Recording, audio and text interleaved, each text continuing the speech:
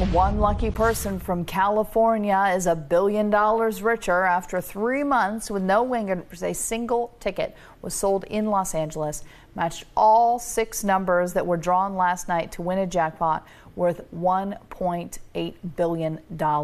It was the third largest jackpot in history, 1.08. Uh, 36 people also won a million dollars, not too shabby.